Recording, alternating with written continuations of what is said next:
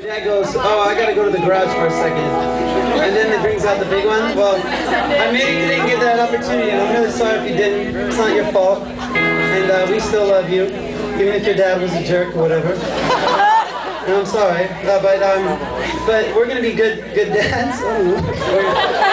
Uh, and uh, we have a present for you tonight, and um, oh, but only for 60 people. and um, we have this song on a new record, and it's and it's called Fifth Fifth Tambourine.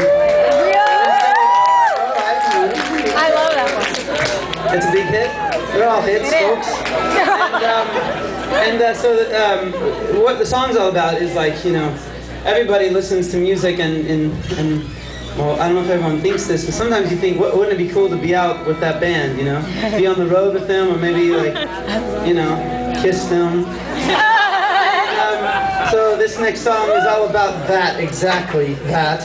Um, and uh, it's called Fifth Tambourine, and so if we have a, a fifth tambourine player in the audience, or maybe 60, the 60th tambourine player, we have 60 tambourines for you.